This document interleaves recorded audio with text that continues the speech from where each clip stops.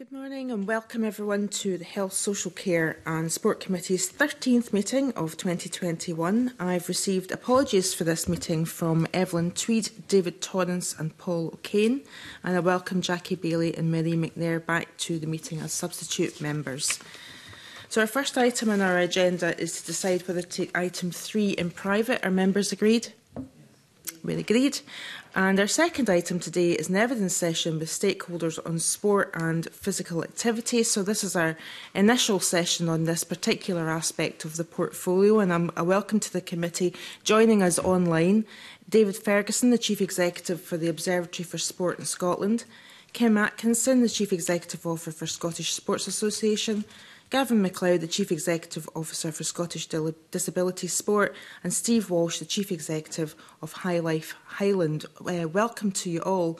Um, I guess I'm going to start off things, I mean, everything these days rev revolves around the pre-COVID and during COVID, and the, the, the obvious question to ask is, uh, looking at activity in general, physical activity of the people of Scotland, I, I guess I'd, I'd, like a sort of summary of, of, of your view on, on what, what it was like pre-pandemic and issues around you know getting people moving and, and active and any changes that you've seen during the pandemic um, particularly I, I guess you know post lockdown, because obviously lockdown inhibited people from being particularly active, but certainly since we've come out of the lockdown periods and things have started to open up. So I, I guess I, I, I mean, members will be asking questions and, and, and generally just identifying who they wanted to ask questions to. But if I can go round everyone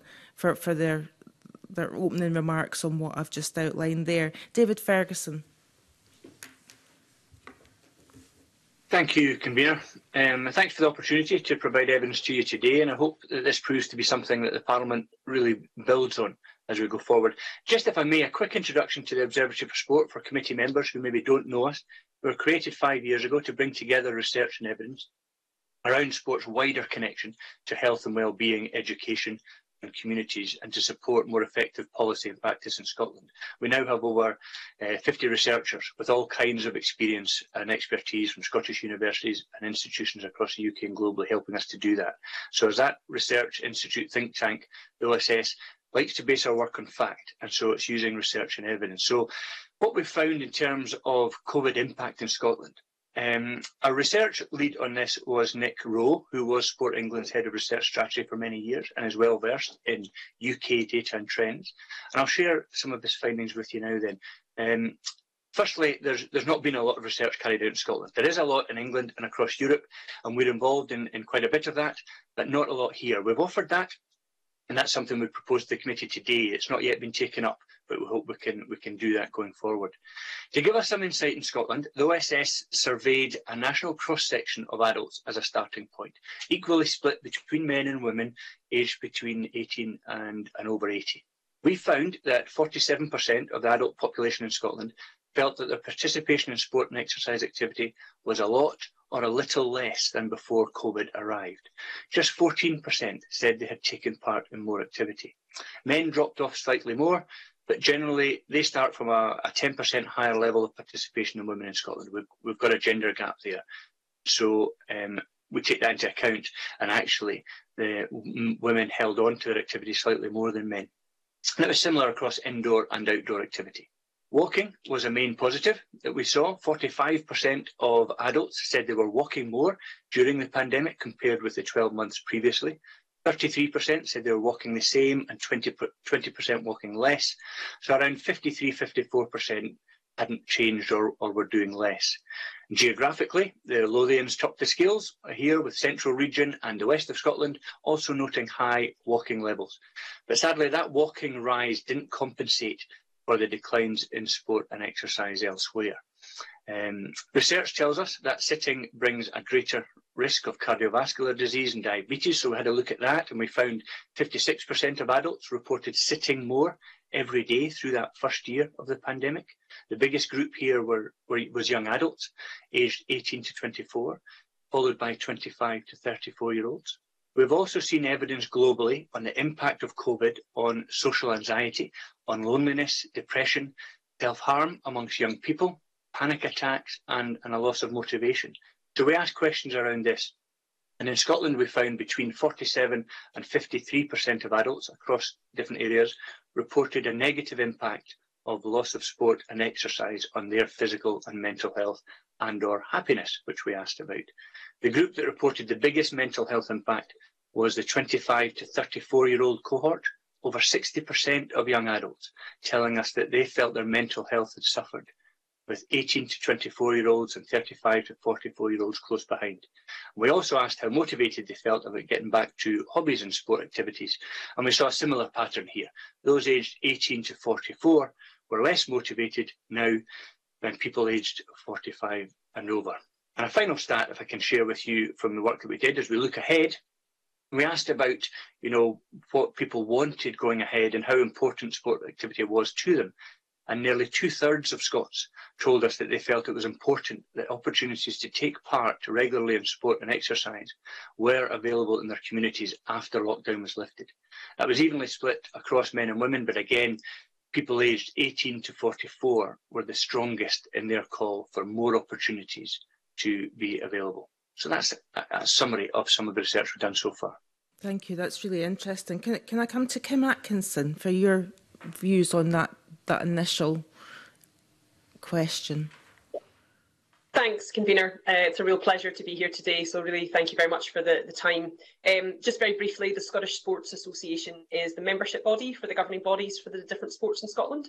So we're their independent voice. Um, their members are 13,000 sports clubs, whose members are 900,000 um, uh, members of the sports clubs. So 13,000 sports clubs, 900,000 members. So um, from that point of view, I think the, the pre-COVID time was uh, a period where we knew there were challenges, but actually we were in a progressing position, I think, across quite a number of sports. Um, I think we're in a position, uh, we still are, and I think we certainly were in a position where sport presented a great number of opportunities and physical activity the same, where we felt that more could be done, and I think there is a collective effort behind that. So we know that um, if people are physically active, there's a third reduction in all causes of mortality. We know that there's a 30% increase in well-being for people that are active, that physical inactivity costs the Scottish Government about £91 million annually. And we know that um, there's a 20% pre-COVID, there was a 20% difference between the most active and the least active in society. So we knew that there were challenges, but at the same time, we know that Scotland is a world leading country in the, the policy environment for sport and physical activity there are opportunities we think uh, on behalf of our members to more greatly put that into practice and I should say that the views we're sharing are those that we've gathered from our members as a membership organisation. So we were in a, a strong position um, eh, from a policy point of view, but with opportunities practically, and knowing that a lot of governing bodies um, were really cutting edge in delivering new opportunities for their members to keep the active active and to get the inactive uh, to enable them to be more active. I think the challenge with, with, with lockdown and that pre, pre-lockdown period, as you say, convener, is it has brought some new challenges. Um, it has exacerbated existing challenges, and I think that's some of the, the significant challenge within that. But I do consider, I think our members have agreed that, that there is the potential uh, that, that COVID has brought new opportunities. Uh, and I think predominantly those are around removal of barriers, where our members would see opportunities moving forward. And I guess you know that's probably where we'd like to focus on today in terms of practically what we can do and, and hopefully where the committee can help us with that. So the three barriers um, that we see real opportunity in moving forward to remove are some of the main reasons that people say they're not active are because they don't have time and the premise of flexible working. We've seen a lot of people doing active commute. There's a way holistically as a nation, our members believe that as employers and educators, we can look at things differently. The cost of facilities has reportedly consistently reported by our members been a challenge. And again, this isn't just a sport issue, I would argue, convener. I think in conversations we've had with colleagues across the wider sector, that we've had with colleagues across youth work, across culture, across heritage, um, across a number of areas, access to community facilities is one of the key challenges that, that people face, not just sports facilities, but community groups accessing community facilities. So sports clubs are a third of all voluntary organisations. And by the time we add those groups that I've mentioned together, convener, that's two thirds. and the, one of the biggest challenges they face is access to community facilities. I think the third opportunity is, is around equality, so reducing that challenge of inequality. And I think that equalities gap has probably grown. I'm sure that's a, a priority that, that, all members uh, see. But I think there's a particularly pressing um, action um, around support for benefits for people who have a disability to participate in sport and to volunteer. I'm sure Gavin, who's our expert on this and the amazing work that SDS do, will tell you more about that. But that's a real opportunity, we think, convener, as things stand at the moment. And as Powers for Social Security come to Scotland, we really need to be ahead of the game with this. And I think the fourth opportunity is to look at the environment that we work in around funding, around what we measure and around making sure that we minimise as much bureaucracy as possible and actually we are focusing as much delivery as we can on actually delivering activities and not monitoring. So we've seen progress in a number of those areas through COVID and through the programme for government in relation to that last aspect. But we think there's opportunity to do more, convener, and really looking forward to that discussion today. Thank you. Lots to unpack in, in what you've said, and I'll bring in other members um, as well. Um, Gavin, um, from SDS, from your perspective. thank you, convener. Thank you for the opportunity to um, to present today, and thanks to Kim for setting this up so nicely in in her um, her piece there around equality and inclusion. Just as, as a background, uh, Scottish Disability Sport, uh, the recognised governing body for uh, Scotland, we're pan disability and multi sport. We work across the impairment groups of, of physical, sensory, and, and intellectual impairments. Um, our, our, remit is around changing culture. Uh, it's about embedding inclusion within physical sport right across Scotland. Pre-COVID, what, what, did we know? Well, we, we knew that uh, almost a quarter of the population consider themselves to have a, a disability or a long-term limiting health condition. Uh, we know that the benefits of physical activity and sport are proven in terms of quality of life, uh, physically, socially, psychologically, for some of the athletes we work with, prolonging, prolonging their lives. We know that there's a latent demand out there. We know that four, four out of five disabled people want to be more physically active. But we also know that there are some substantial barriers there. Uh, we know about transport, we know about perceptual um, um, issues, we know around cost, um, but the one that that, uh, that uh, Kim teed up there for me quite nicely was the one around benefits, which uh, we, we came across in 2019. And a piece of research showed that almost half of uh, disabled people questioned were fearful of becoming more physically active because of a potential uh, loss of of, of their benefits and being judged to be to be more able. So that's where we are in terms of um, pre-COVID um, participation. You know, disabled people were were, were way behind in terms of meeting the, the physical activity targets. Uh, eight percent of sports club membership was disability, um, people with disability. Uh, only 2% of the qualified coaching uh, workforce. So we know that there were still big gaps, dis despite some great work happening out there. For us, COVID uh, was a pretty bleak picture, um, as you can imagine. lockdown happened very early for a lot of the, the, the individuals we work with. Um, we we um, picked up on very early some some uh, quite worrying mental health issues with some of our our athletes and participants, and we did a lot of work in terms of putting all of our programs online, doing a lot of work with SAMH uh, to support our athletes through that lockdown period. Coming out of lockdown, what we're seeing, um, we're seeing a real hesitation uh, from a lot of uh, individuals with disabilities in terms of coming back to physical activity uh, and, and sport. Um, we're seeing probably 50% that are really keen, chomping at the bit, and, and, and are back already, but there's a big number still not coming back.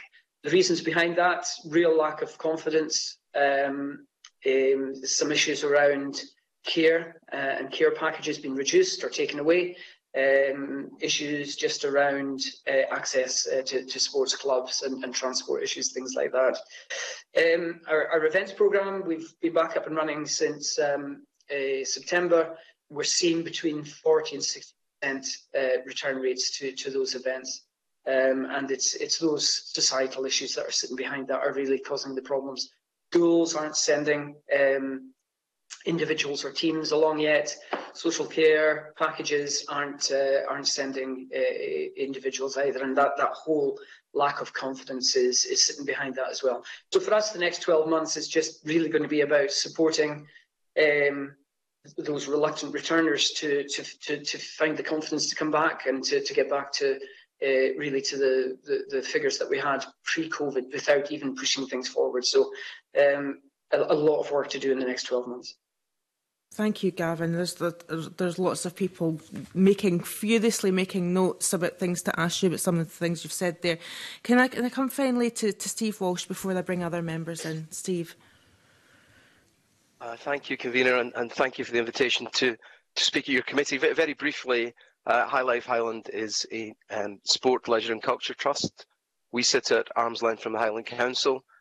Uh, we clearly occupy one of the biggest uh, regions in, in Scotland. Uh, with, with that um, comes uh, the challenges of obviously remote and rural communities uh, and the geography, obviously, um, in terms of barriers, transport being one of the biggest uh, barriers that that, um, that we encounter. I, have the the, uh, the benefit, I think, of taking notes as, as other, others have have spoken. In terms of a return to sporting activities from a um, a leisure perspective across our organisations, uh, returnees sit at about 60 to 80%. There's a few outliers, but, but that's generally where we are. So our memberships, my membership is 75%. Um, the reasons for non-returns, and it goes back to what Gavin said, it's confidence. Um, certainly many of those who were shielding haven't returned to physical activity. Um, and we sit with quite a few frozen members who just don't have the confidence to come back to a leisure centre. Um, on the uh, on the return as well, it's quite difficult to to establish what we're benchmarking against. You know, I, I guess my question would be: Are we benchmarking against pre-pandemic, or are we looking at something completely different as we move forward?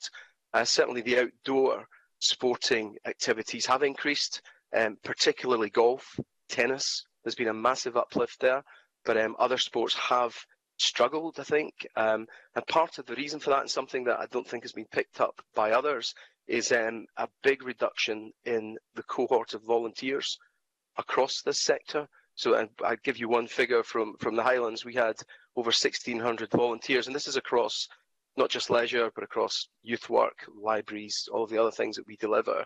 Uh, we had 1,600 volunteers. That that's down to less than a thousand now, uh, and much of that is down to lifestyle choices as we've come out of lockdown, and a little bit of volunteer fatigue as well um, as people have um, suffered the impact of the pandemic. And, and, just a couple of other things that, that I would like to cover. Um, Kim spoke about access, and I, I absolutely agree that sports organisations should be entitled to, if we could make it free, that would be fantastic, but affordable access to public facilities. The, the challenge that uh, someone like myself has, I've, almost uh, classes in, in the squeezed middle here.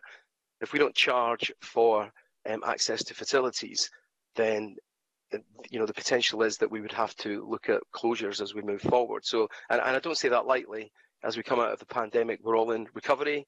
We've all really struggled financially. So um, I think that's a great aspiration, but we really do have to think about consequence of of um, of, of doing something like that. But I would I would you know in terms be supportive of it. I, I just finally um, with respect to uh, participation at an affordable price, I, I, I'd probably just try to pitch the high life model here.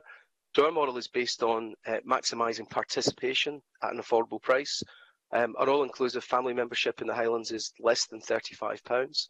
Uh, that includes swimming lessons, all classes. Um, and in terms of you know elasticity, we have a high number of members.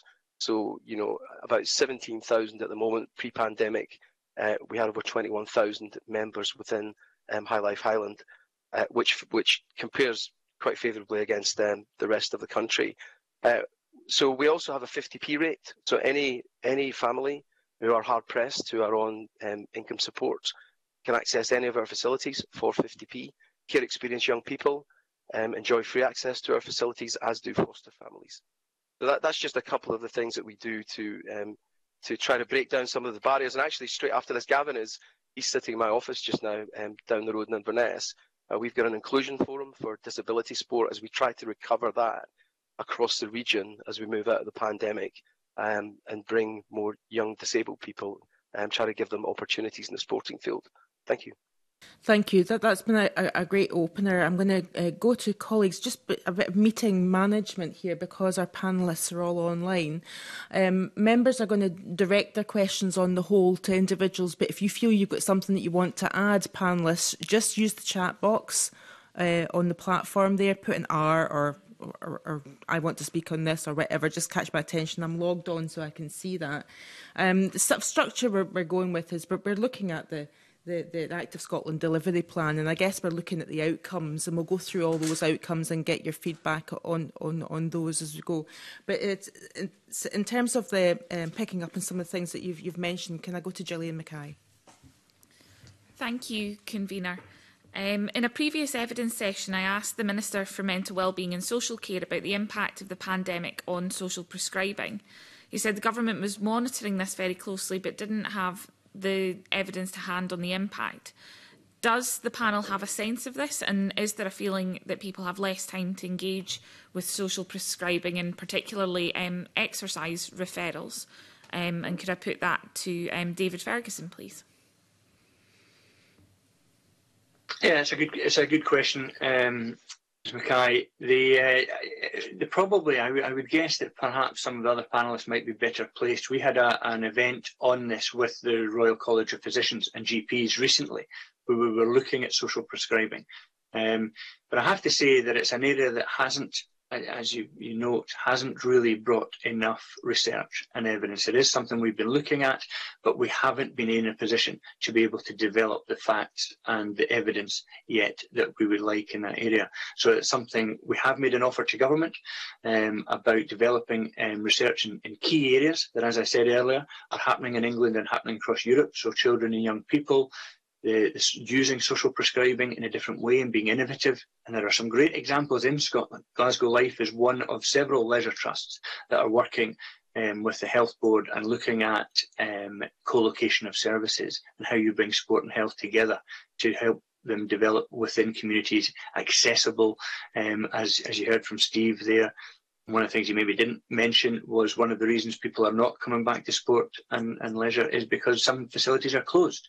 So a lot of facilities that are able to are, are, are allowed to open through COVID regulations have not opened yet because they're not able to financially or they don't have enough staff to operate. So that's a big concern for how we get people coming back. I'll probably pass on to the other panel members because I know we're working both with Gavin very closely at the moment on research and, and disability. We're working with Steve as well in High Life Highland and research.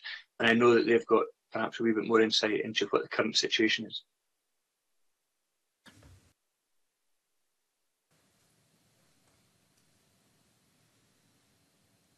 We'll just unmute your microphone, Gavin. Hang fire. Thank you. Hi there. Yeah, thanks for that. Thanks, th thanks for the question as well. Uh, from, from, our point of view, I think what we're finding is uh, we have uh, physio referral schemes in place across the country, um, largely paediatric uh, physios, um, and that relationship's been really, really good. It's been built on person-to-person -person relationships, unfortunately uh, not as strategic as I would like it to be. I think that, ref that referral uh, system should should um, should be more strategic um, and built in. Uh, what we saw during lockdown is it, it, stopped completely for obvious reasons, but we're starting to see that pick up again. So from from the physio and, the OT point of view, yes, that that that has worked, um, but it could be stronger. We're doing a piece of work uh, at the moment in Tayside uh, with NHS Tayside, uh, Get Out, Get Active, funded by uh, Spirit of 2012 and the London Marathon Charitable Trust. Um, and that's been running since actually just started as, as COVID kicked in, uh, as, as Chance had it. Uh, but what we did was uh, moved everything online, a bit like our, our own programs uh, during lockdown, and we actually got a huge response. Um, and it was a, a, lot of those were referrals from NHS practitioners. Um, um, a lot of it was level physical activity. It was support with mental health. Um, and, and, we ran those right the way through the, the lockdown period. We've now started to return to face to face. And what we're seeing is a little bit of, again, what I said earlier, there's a bit of a split between those that are keen to, to try and, and engage in some face to face activity, and probably 50% that are still quite happy to stay online uh, because they still have that nervousness and that lack of, of confidence to do the face to face bit. But the, the, the GOGA program in Tayside is brilliant because it's actually now uh, been built into activity pathway as part of the, the, the NHS uh, program. So uh, what we're doing is we're delivering education and training uh, into all the clinical practitioners in Tayside. and we're creating all the links into um, physical activity output locally on the ground as well. So as a model, uh, it's great, and um, there's an awful lot of monitoring and evaluation built around it as well, and learning that's coming out. It's a UK-wide programme, but uh, the Scottish um, leg of it is is focusing on the NHS. So three-year programme. By the end of it, we'll have a, a, lot of learning, and we'll be delighted to come back and talk to you about it in terms of um, you know, what's come out the back end. Kim wanted to come in. Thanks very much, convener, and, and Gillian. Thanks for the question. I think it's a, a super question, and, it, and it's certainly an opportunity that I think has been recognised across sport and physical activity for many years. You know, we're now um, 10 plus years on from Christie Commission, and I think this type of question gets absolutely to the heart of prevention. And the work that, that Gavin and the team are doing with the GOGA model is, is, is groundbreaking and, and sector leading, but we need to look at additional opportunities for that. So again, we know two and a half thousand people die every year in Scotland because they're not active enough two and a half thousand people for a developed world nation. This is, you know, surely something that, that needs to be addressed. And I think gets to the heart of that connect between sport and physical activity and, and healthcare. And how do those really, really work and how can those really come together? So I know Public Health Scotland uh, have been doing some increasing work in this area, which again, I think is refreshing. But I think we still need to be very clear that, that sport and physical activity needs to be prioritised within healthcare more than it's ever been. So Sir Harry Burns, the former Chief Medical Officer, called sport and physical activity the best buy in public health. The best buy in public health, yet we don't really see sport and physical activity recognised in the National Performance Framework when we talk about the importance of healthcare at the highest level. It's also um, the key indicator of life expectancy. So again, Sir Harry said, how active you are will determine how long you live more than any other indicator. You look at life expectancy, and we don't talk about sport and physical activity as being a priority within that. Yet again, the research says it needs to be. So I think we really need to look at that, that opportunity and that prioritisation of sport and physical activity within healthcare. There are some really good examples as well. I'm, I'm sure Steve will, will have more as well. The model that, that High Life Highland worked through is, is absolutely unique. So I'm delighted that Steve's on the call here to really be showing what sector leading trust work can do. But there's also a really interesting model I think the committee in a previous iteration went to view at Atlantis Leisure, where over in Oban, where actually they have um, a really, really strong connect with the local GP surgeries. And actually a sport and physical activity coordinator sits there as part of the referral process. But I'm not aware that we've ever seen that roll out yet. I think every time we talk about this, we talk about those types of examples. Our members are really, really clear that social prescribing is a huge opportunity. It was part of the manifesto that our members worked with us on in advance of the elections. And their ask is for a clear and resourced strategy for uh, social prescribing, which recognises and embraces the breadth of opportunities for people to try different activities and different sporting opportunities, and for community clubs to be at the heart of that, because at the end of the day, they're closest to their communities. So, great question, Gillian, and huge, again, another huge opportunity. Thank you. Gillian, your question has excited many members who want to come in on social prescribing. Have you got a supplementary question to that? or do you... No, no, I had a different question I, to come. But I'll, yeah. I'll, come back to you. Emma, do you want to ask something on social prescribing? If you can direct it to, to somebody, please. Um, Sure. Thank you, Convener. Good morning, everybody to the panel. I'm not sure what TV I'm supposed to be looking at at the moment. Um, in the last session of Parliament, we, as a Health Committee, I was a member, we did a, uh, an inquiry, and the report came out called Physical Activity is a, a, an investment, not a cost, and it was or social prescribing, and and we did an evidence gathering and sessions around that. So I suppose my question goes to um, uh, David. It's um, David Ferguson you were asking about evidence and what further evidence we need in order to do more in order to support social prescribing programmes.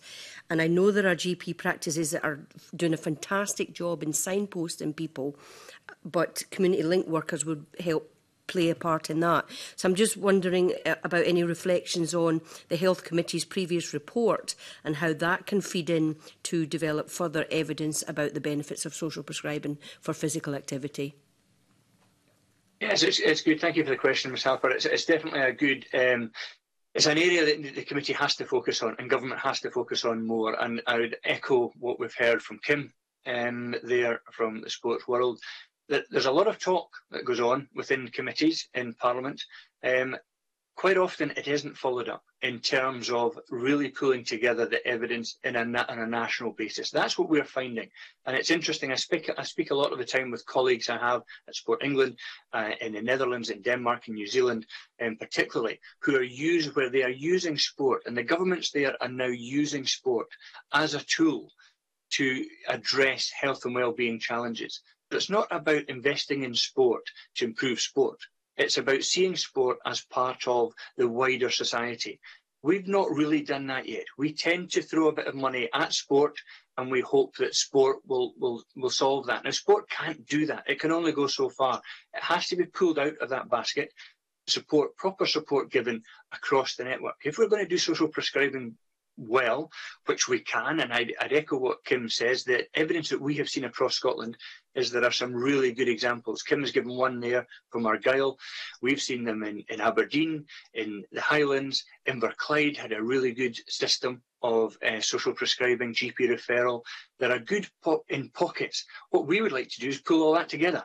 And we have offered that um, before to pull that together, to do a proper bit of research that actually looks at where it's working, where it isn't, why that's the case and be able to give the proper national picture. That's the concern perhaps that we have, that we haven't had that focus to now up to now. So we have this discussion at committees, we have this discussion in lots of forums across Scotland. Everyone says, great, social prescribing, we should be doing that, more of that. But actually, nobody is taking the bull by the horns and saying, okay, let's invest a bit in that and let's properly understand what the picture's telling us so that we can help every part of Scotland to use this properly, to learn from where it worked and where it doesn't, and also bring in a bit of international learning, which we've seen out there, which is, you know, some of it could work in Scotland, some maybe not. But we need to start to do that, to take some action, to step forward and actually make it happen. See sport and physical activity not as being an end in its own, a little luxury at the side, um, but actually part of COVID recovery now, but part of strengthening our communities rebuilding and, and creating the resilience we need in communities to help every age of person to recover and be healthier. I've got a long list of people who want to come in and social prescribing. we probably could end up using the whole 90 minutes on it, and that's fine if members want to do that. But uh, Steve Walsh wants to come in. Steve? Uh, yeah, thank you. Just very briefly, two two things I think that, that might be of interest to committee, but on a, a, a very practical um, level. First one is uh, the work that we do um, on uh, cardiac rehab, on uh, Parkinson's uh, sufferers, and uh, falls prevention. So we take we don't just take referrals from GP practices. I'll come on to that in a sec, but also from social um, social health professionals, from self referrals as well. Pre-pandemic, we had about 250 um, people on those on those um, preventative courses uh, and we pivoted those to online as well. So we've got a hybrid offer now as we as we move forward. Um, so so that works that works particularly well on on the GP referral side. That really hasn't hasn't expanded as much as perhaps we would have we would have liked. Um, the uh, in the Highlands, I spoke to our, our um, um, healthcare professionals yesterday in NHS Highland, and we're speaking. I think we've got about 60 odd GP practices here, and only a handful have really uh, moved forward in, in, a progressive way with uh, um, with social prescribing. Um, but I think you know, in fairness, that's about time and space and and training. And the GP practices that we work really well with tend to be practices where we've got um, GPs who have a, an interest in this area uh, and really focus on it. So I think there's a bit of work to do there. Um, I know that we've got community link officers who will be going around GP practices to try to upscale this. But I guess my final point is um, whether it's um, on cardiac rehab or it's uh, it's social prescribing from from GPs. It's all very scalable, but what we tend to do is we tend to be scrambling around for for little pockets of money here and there to do it.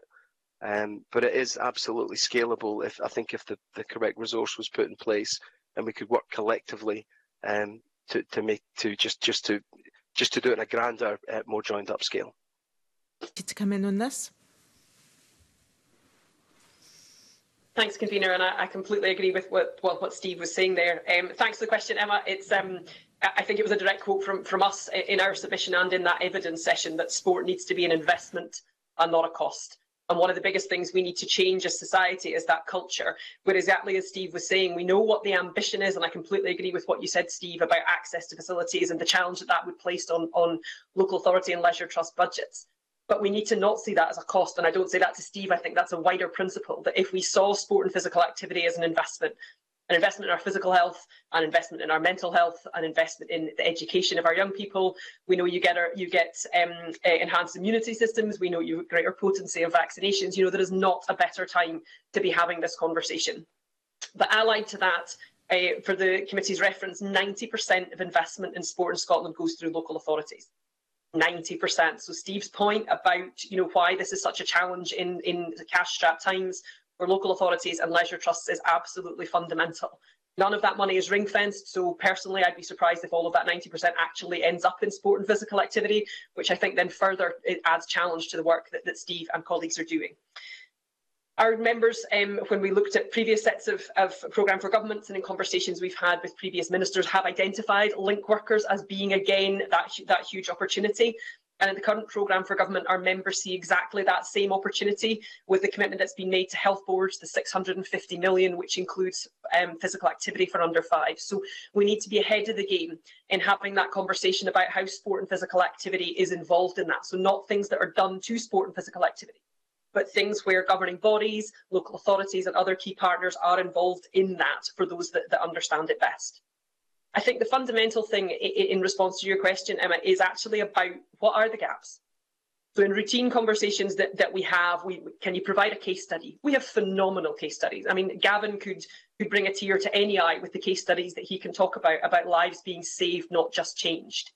So we, we have any case study you'd require. But also there is a huge amount of evidence. Now, yes, maybe some of it could be pulled around, pulled together differently. But we know that sport and physical activity is a phenomenal thing across government agendas. So I would question actually what evidence is it that we're missing? What I think we need is an action plan to come together and say, okay, here is what needs to be done, and here's the bill for it, but this is why it's an investment. And I feel that that's the argument that we've we've never quite got to is, well, it, it's a spend, it's a spend. Well, if we're true sticking to, to prevention, then we need to consider our language and we need to change that culture. I think there is an opportunity for a group to come together in sport and physical activity at a strategic level to have a different dialogue. Sport doesn't come together strategically. It comes together with government and with, with um, physical activity and with wider colleagues, yes, but sport in its own entity doesn't come together. So I think there's an opportunity, I've had this conversation previously, for ourselves representing governing bodies for the representatives of leisure trusts, for local authorities, um, and for Sport Scotland, and potentially some other partners to come together and say, look, what is it that we need to do and collectively can do together? So that's a gap. And the other one I'd, I'd suggest, Emma and convener, if that's okay, is actually maybe we need to, to really raise this higher within the Scottish Government agendas. Active Scotland Division do phenomenal work, but can we work with them to say, well, actually, maybe we need a cross-ministerial group to look at the role and contribution of sport and physical activity because it touches probably every agenda and it touches every national outcome. So can we have a cross-cabinet or cross-ministerial working group that helps to talk about this?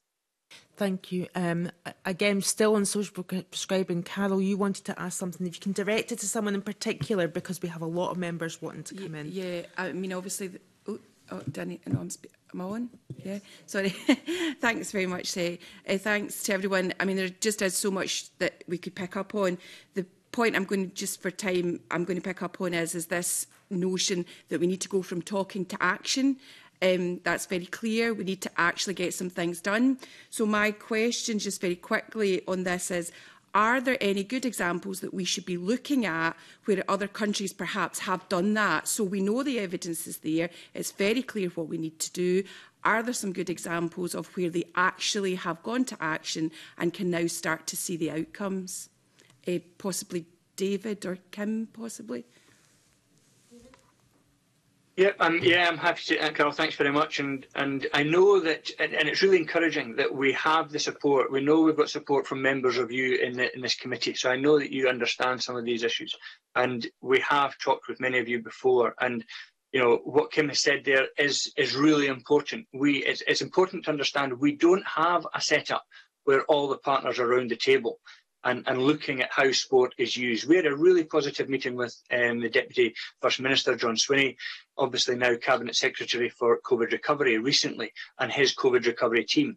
And it was interesting how much they may perhaps didn't realise about how sport came together and and this, this sort of silo operation that we, sometimes have in Scotland. And it was, but it was really encouraging how he said, okay, we have to bring this together. We have to make sport and, and physical activity part of COVID recovery. So I was encouraged by that. And I shared with him the same example I'll, I'll, I'll pick out to share with you, Carol, at the moment, the, the Netherlands created a, a, national sport agreement five years ago, which brought all the stakeholders onto the same page. But on a national level, they had government, they had health, education, criminal justice, because you know we've seen lots of great examples of Police Scotland talking about the advantages of, of local sports clubs in, in tackling antisocial behaviour and things like that. So they're important as well. Private business, and of course the research was, was part of that whole equation. They've now replicated that at local level and I speak with my colleagues in, in the Netherlands quite often. So over 360 municipalities or so that they have, they're ensuring there's the same investment into communities there um, from national government to ensure an approach, a, a, consistent approach to health and well-being in communities. It's not an approach to sport, it's an approach to improving health and well-being. Now, how each other does that, how each area does it, how the partners come together, the local council, the schools, clubs, health, business is up to each area. Um, they make it fit for their area, um, fit to their area. But the key is that they're all involved, they're all contributing to that community activity, and they all understand their roles in delivering against health and well-being and education and, and social cohesion objectives. So that is how they're coming together to help plot the way out of COVID and and they did that post. They, they invested more in post austerity. In Scotland, we started to our, our investment in community sport started to decline post 2008.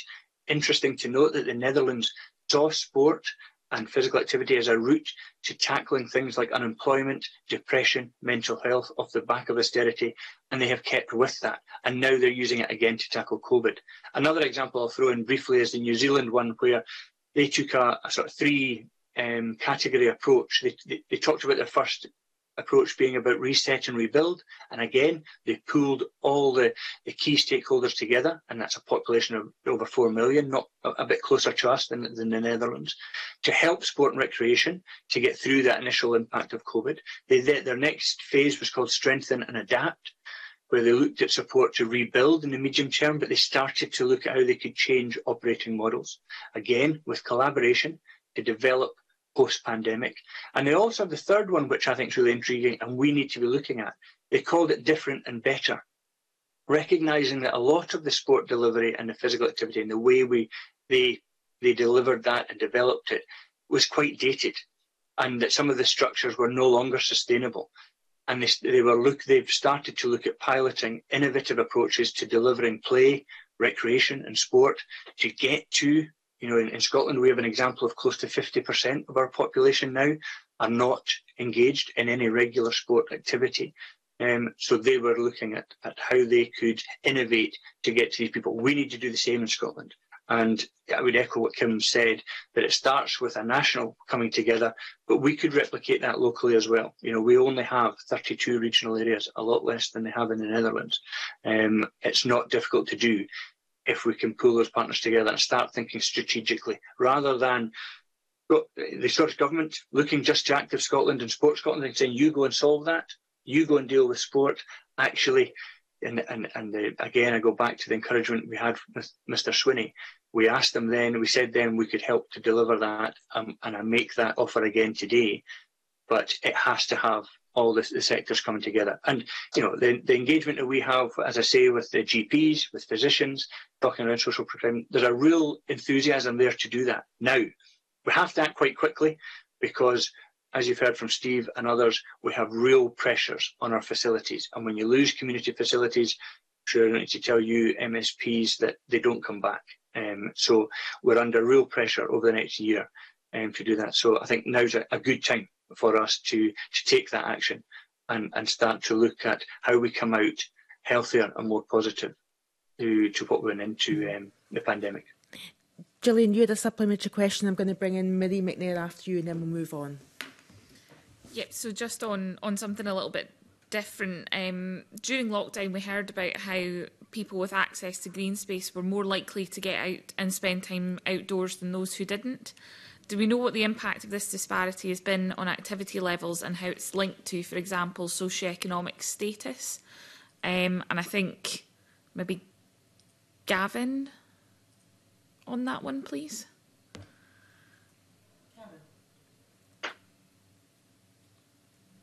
Yeah, we don't we don't have an awful lot of evidence to back it up, but uh, I think from what we saw in terms of the the recovery from from the lockdown um, and the shielding um, period was that um, it, that that um, the outdoor activities, uh, the green spaces, were a bit of a lifeline uh, for disabled people where access allowed. But access is always a, big problem with the outdoors when it comes to many disabled people. But certainly, we saw a huge rise in walking groups, um, in cycling programs, um, particularly. Um, and it was just what it comes back to is that social aspect of it. It's get, it was getting out, having been locked up for so long, getting out, being able to socialise, going for a walk, going for a cycle, having a cup of tea, um, and uh, j- just being able to feel, you know, to, to feel normal again was was the feedback that we were we were getting. As I say, we don't have an awful lot of evidence to, to back that up, but certainly it played a big part uh, in the recovery from um, uh, from COVID from from our point of view. Come in on this, Kim. Thanks, convener. Um, just briefly to build on what Gavin said, I'm not aware that there's a huge amount of, of evidence, but certainly the anecdotal feedback that we've had from members is there have been a number of factors which have highlighted the priority that, that people placed within that. So firstly being certainly in my lifetime, the idea of well-being has never been more important. You know, for the first time, I think well-being was almost higher than the economy at, at, at one point. Now, obviously, the economy will, will rise and rightly so, but we need to hold on to well-being being really important both well-being as a society, but our individual well-being. So I think that that focus on, on social health, uh, as Gavin was saying, that particular role of sport and physical activity in being out, being active. You know, we saw people walking with friends and that being the social gathering in the way that, it, that it's never been before. I think we've also seen the really important role of local clubs. So those of us that are involved in, in sport and physical activity know that clubs are the heart of so many societies. But I think through COVID, we've seen that more that, you know, so many different sports clubs reaching out into the communities, them becoming community facilities where people come and get food, where they meet people, where actually clubs have been outreaching into local communities, nothing to do with sport, but just because they're that trusted partner within the community. So I think that's a really important part. But the factors we've seen have been local facilities, they've been people having more time and more flexibility with their time, and we've seen it being about reduced access, uh, reduced cost so being able to do things where cost isn't a barrier because you're able to use the outdoors in that environment. So I think they're the principles that we need to remember as we move forward with new opportunities. And I totally agree with what David was saying about this is this isn't about more of the same. This is about making this a real opportunity for change. And I think the, the committee has such an important role in that. Okay. Can I come to Marie McNair and then I'll come to Sue Webber. Marie. Thank you, Convener. Good morning, panel, and thanks for your time this morning. Um, I'm going to put my questions to, to Gavin. I was interested to hear uh, in your submission that, um, about the reduced participation in volunteering by disabled people because of the potential impact that you may have uh, regarding DWP benefits. And you've referenced that again this morning. Can you say a wee bit more about this and the experiences you've been made aware of? Um, and also, given the transfer of disability benefits to Scotland, what engagement do you plan to, to look at? You know, the barriers with the Scottish Government and Social Security Scotland, and obviously, of course, Universal Credit uh, will obviously, unfortunately, still remain with the DWP the capability assessments. Yeah. Yeah, in, in, terms of in terms of uh, what we've seen, uh, the, re the research that um, was it was in the, the submission was uh, English research, um, but uh, from our experience up here, you know, we, we've seen um, some of our athletes have their mobility uh, taken away. The, we've seen the uh, benefits being cut. We, we, we recently had um, a, a, volunteer with a disability. Uh, we paid expenses, and he had his benefits stopped. Now we, we were able to fight to, to get them reinstated, but we shouldn't really be having to you know, to do those fights uh, to, to, to support them to do that. So yeah, it's it's it's it's undoubtedly an issue. Um, you know, we speak uh, to to our participants, and, and they're all nervous about that assessment and the, the, their benefits being cut. We, have got a, a boccia apprentice program just now, boccia Paralympic sport, um, and it's it's about uh, focusing on on um, uh, athletes that are retiring and keeping them in the sport and getting them involved as as coaches. But all of the athletes that we spoke to were reluctant to get involved because of the potential impact on their benefits. Now, you know, if we're trying to keep athletes in the sport and trying to keep them engaged, th these are the sort of things that are real, real, tangible societal barriers that are there. So yeah, we would we would love to be engaged. We haven't had any engagement yet, but uh, you know we, we can bring some, as I say, some experience, some lived experience from from the participants and the athletes that we're working with, um, and we can bring that into the into the fold. But um, you know the opportunity, I think you're right, is here to do something significant um, because it's it's a disincentive at the moment. Um, and, and we need to turn that round. It needs to be an incentive. We need to incentive, in, incentivize people to become more physically active, particularly those with disabilities. And moving on to questions. Sorry, I saw David Ferguson wants to come in as well. I've just um, Miri, if you, if, you, if you wouldn't mind, I'm just looking at the chat box and have a couple of other panellists wants to respond to you. Can I come to David Ferguson and I'll come to Kim Atkinson? you know, because that is a really important issue, and it's a really uh, it's something that has to be addressed. We're we're working with Gavin and the Scottish Disability Sport team, and we've also got Disability Equality Scotland involved in that research that's ongoing at the moment. And we hope, as Gavin said there, a lot of the research around disability is having to use research that was done in England with either no cohort or a very small cohort from Scotland. So what we're doing is it's the first research that's been done in 20 years in disability in, in Scotland, so in disability sport. So we hope to come up with some answers there and some real experiences within that project over the next few months. Kim? Thanks, convener. I was just hoping to pick up on the, the volunteering aspect to the question, if that's okay. So um, we know that volunteering, as Steve said earlier, has been really a real challenge through the pandemic. So we know that, that fewer volunteers are returning, particular reluctance, understandably, around older adults.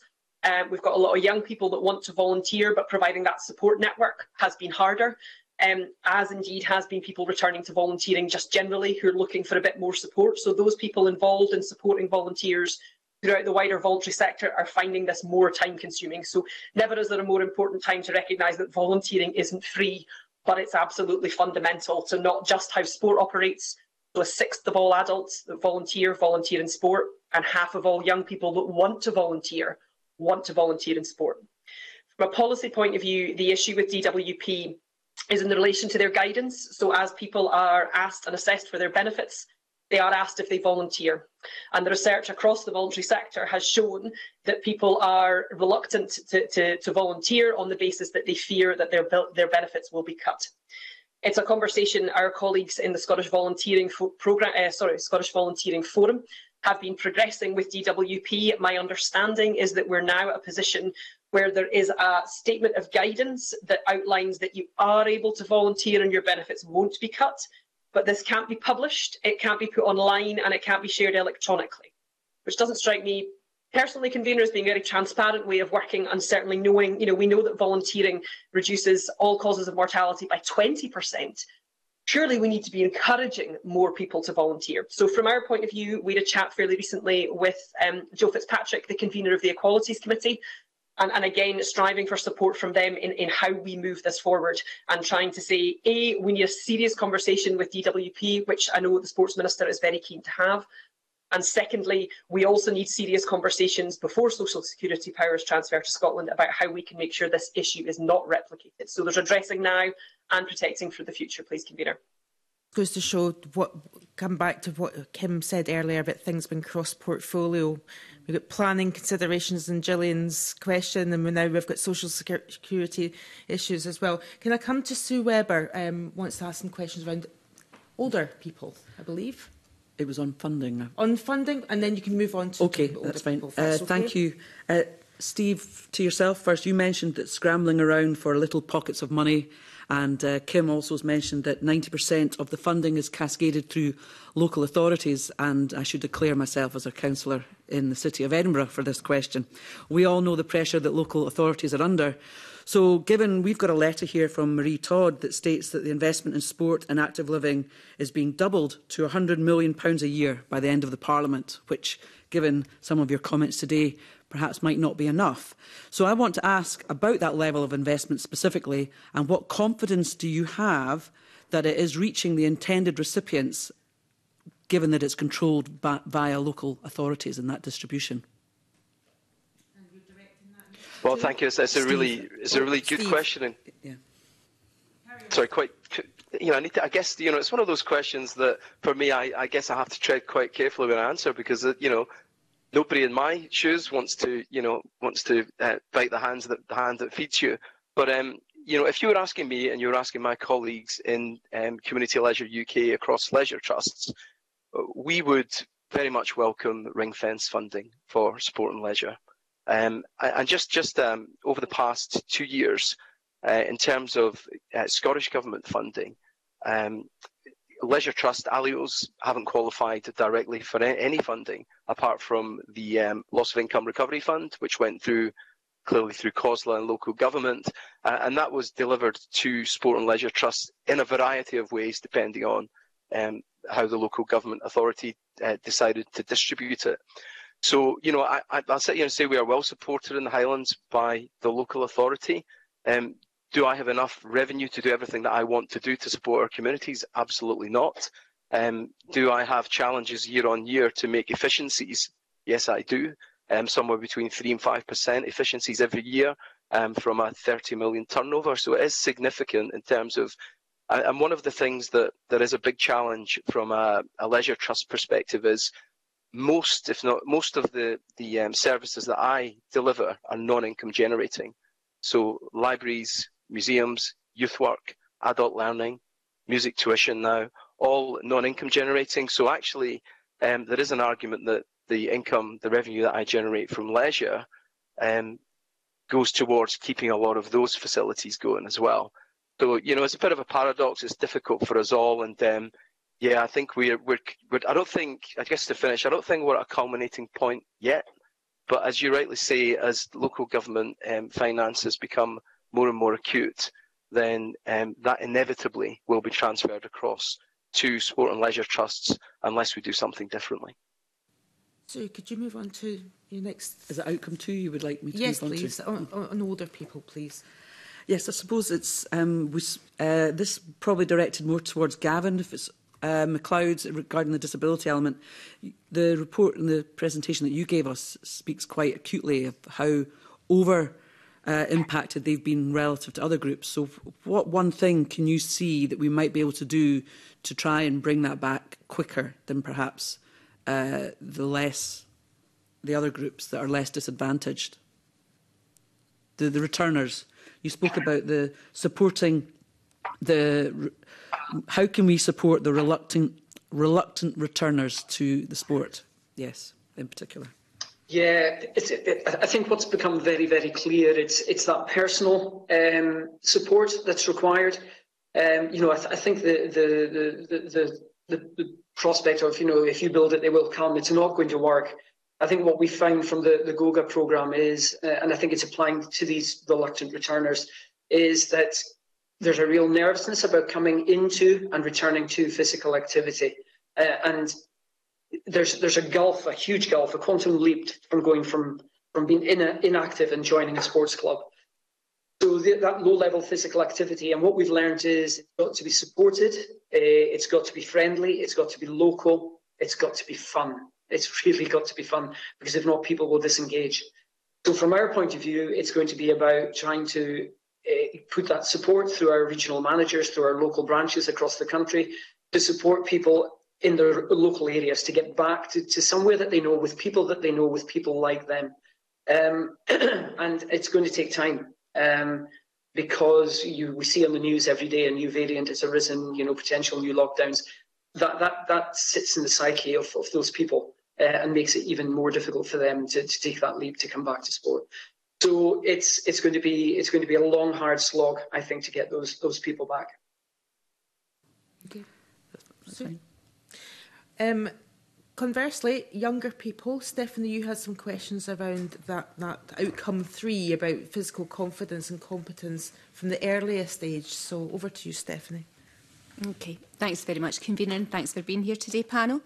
Um, I wanted to ask you um, uh, if you can tell me a wee bit about what you think the impact of, you know, that early activities with young people. You know, if we're really getting young people active from a very, very early age, what, what impact does that have on their future activities and eh, uh, kind of patterns uh, on their health into, right into the future? Because I feel I have to declare an interest as a counsellor here as well, that sometimes, you know, we put quite a bit of funding into, you know, getting older people out, etc. as well.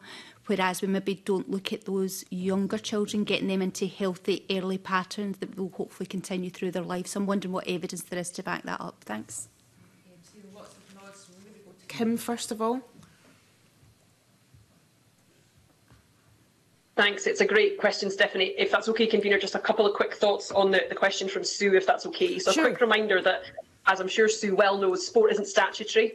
So that obviously means that there are budget questions in there. We know that the last Audit Scotland report showed that the increase, the investment from local authorities into trusts was decreasing on an annual basis, and I suspect that's continued. I think we, we routinely hear language about biting the hand that feeds them, which I think is a, real challenge. We're probably one of the few independent organisations that, that doesn't sit with that as a, as a challenge. But also we need to remember that culture isn't that culture is free and sport and physical activity aren't. And that always strikes me as a, as a challenge. I think there are a few programme for government questions that our members have identified. So what is the definition of active living? Uh, so in the 100 million budget, I don't know what that is. That would be good to, to understand. How can we work with health boards um, to identify the physical activity opportunities, which ties really neatly with, with Stephanie's question.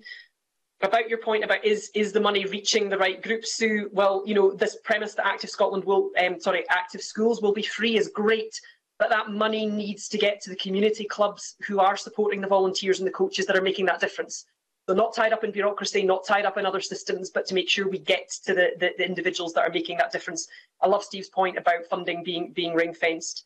And fundamentally, I think for not just sport and physical activity, but volunteering more broad, or the voluntary sector funding more broadly, what is this multi-year funding agreement that's proposed in the programme for government?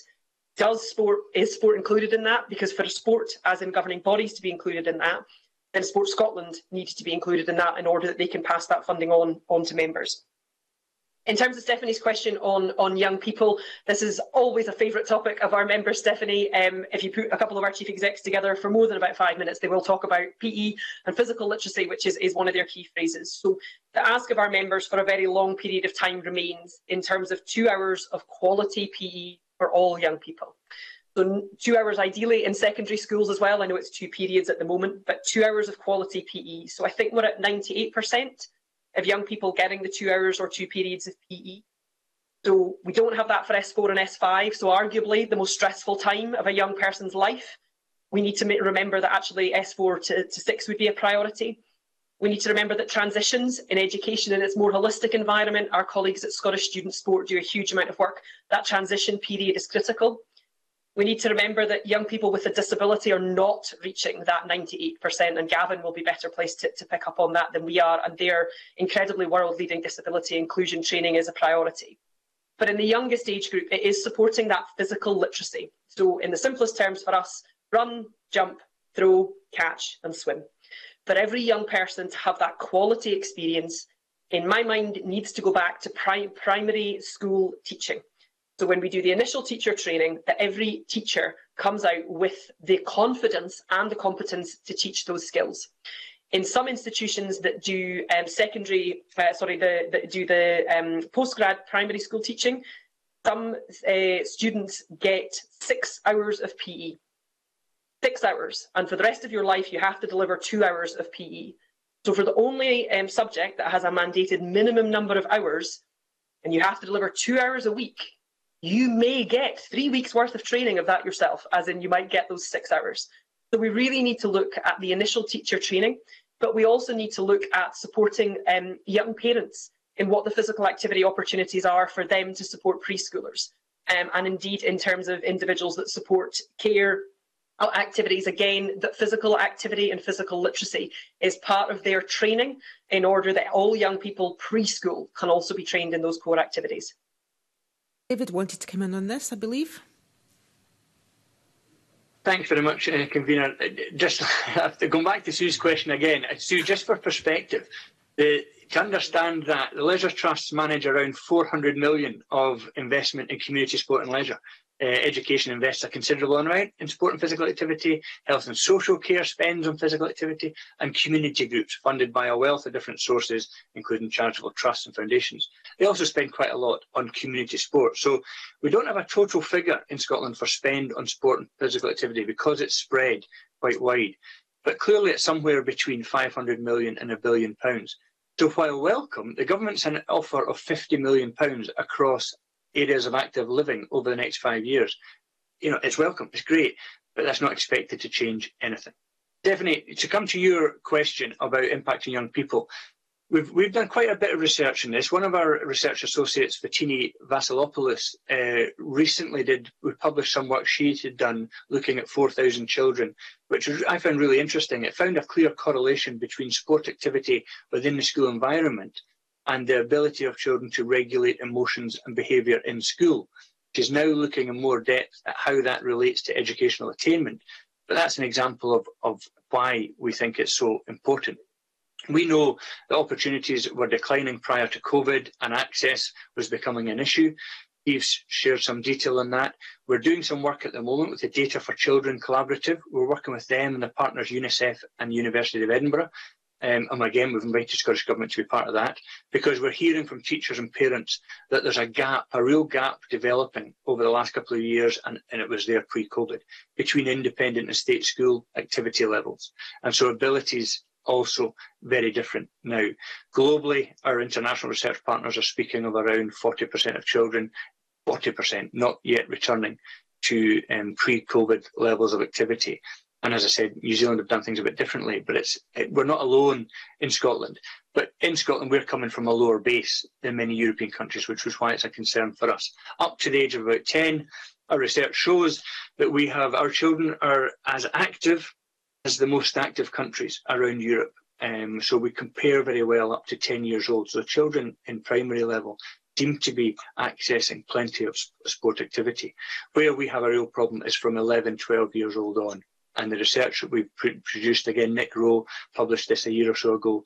Show, you looking at Scottish household figures and Scottish Health uh, survey uh, showed that our decline is a lot steeper from 11, 12 than it is in, in most other countries. Um, and it becomes greater for girls. Still the case, despite a lot of work in that area and a lot of really good work in that area, it's still the decline is sharper. It's sharper for children from less affluent backgrounds and children with disabilities.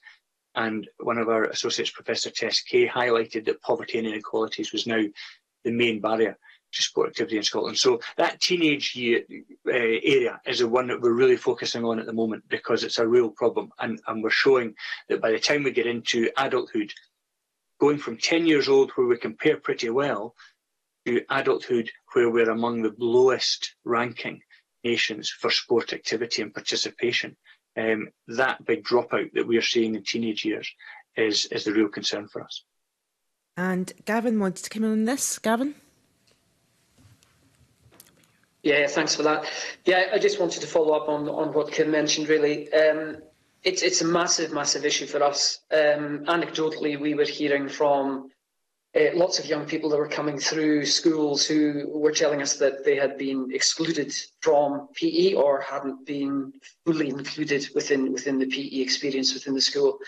Uh, at the same time, we did a piece of research with a local authority, a single local authority in in um, in Scotland, and the result that came back from that was that uh, from the parents and the pupils that we spoke to, only 7% felt that they were getting the, the two hours or two periods of quality PE, 7%, whereas the attainment rate was 98%.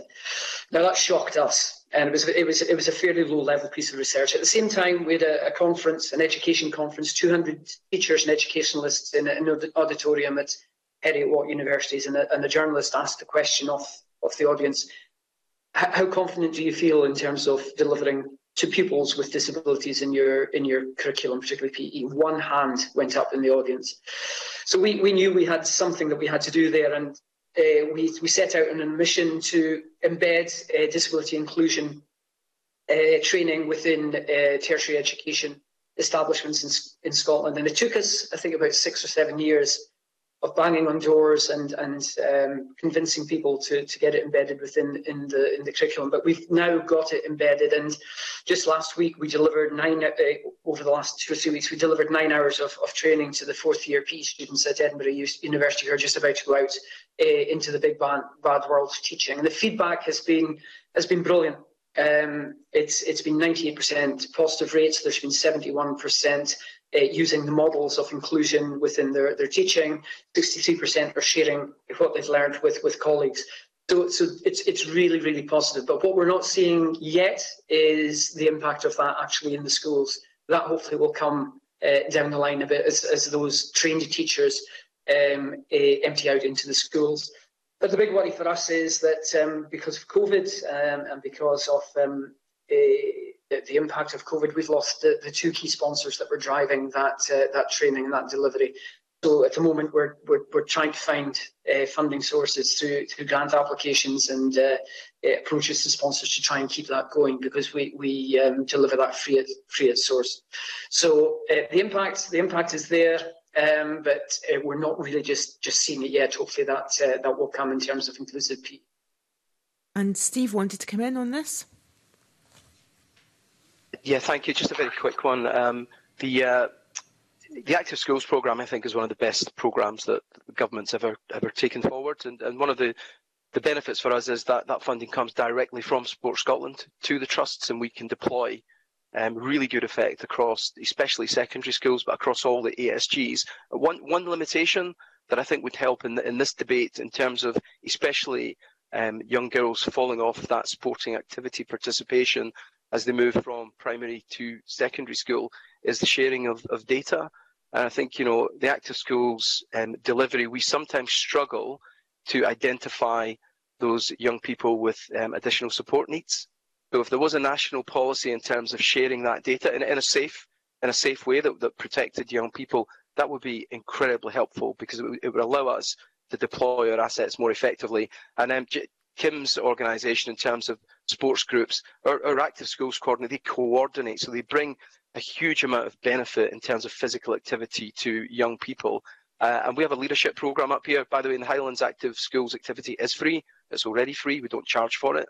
And we've got a leadership programme up here, which is um, viewed as sector leading. That's not me saying it's, um, it's Sports Scotland, but that leadership programme brings, brings um, in particular young girls into volunteer. They get an SVQ qualification out of it, and it's a fantastic programme. And, and that would be something I would um, I, I, would encourage the committee perhaps to have a look at in terms of upscaling that across the across the country. Okay, thank you. Um, what supplementary knowledge go to Sandesh wants to come in and then move on, Stephanie. That's great. Thank you very much, convener. Um, David kind of preempted me a wee bit there, actually, when he mentioned um, young people dropping out of school uh, or dropping out of sport as they become teenagers. Um, just going back to something that Kim said earlier as well, you know, she was talking about sport and, and very much, and I think all of you have done it, winding in play, activities, different activities, well-being, etc. there. And yet, all of you have sport in your title and actually when I was looking at today's meeting I'm kind of thinking are these things going to be incorporated? So I'm wondering if on, on, a, on a wider level that that's something that's a bit of an issue that we're seeing sport as being something really quite separate when actually we're talking about activities and well-being together there. So I'm interested in that aspect of it. But really the, the question that I wanted to ask was, you know, we're doing lots of stuff in early years just now. We're doing it lots of um, outdoor activities, um, lots of uh, risky play, etc. there as well. So I'm really interested in what, what kind of difference that's making to, to our younger children. And I'm also really interested as well, you know, schools, I think we're doing great with the PE, etc. there. But it is quite a limited range of activities on offer as well there. And we do get that dropout in the teenage years. So I'm wondering, you know, do we feel there's a wide enough range there? Should we be looking to focus on uh, other activities that maybe really capture um, that kind of age group's interests or whatever and introducing them early. So things like climbing, parkour, different things like that that maybe are a bit more attractive, if you like, and capture young people more. Thanks. I'm nodding along as because I'm thinking about my own children who didn't like competitive sport and um, I, you know, I, I don't want to obviously talk about my, my kids, but but but that that whole thing, I, I I'm nodding along, also thinking about my teenage years is like I enjoyed physical activity, but then it became it came to competitive sport around the teenage years. I wasn't as good as everyone else, so my interest dropped off, and I, I, I see that happening yeah. in other people. So I'm, I'm nodding along. And there. I should have mentioned I don't want dance to be a therapy, perhaps a therapy session for us all, but but I mean, any any thoughts on what Stephanie has raised there? Maybe we can go to to um, Kim first. Yeah. Thanks, convener, and um, some great questions, Stephanie. I think the, the priority for, for our members in terms of where the, the idea of the two hours of quality PE came from are, are, are two things.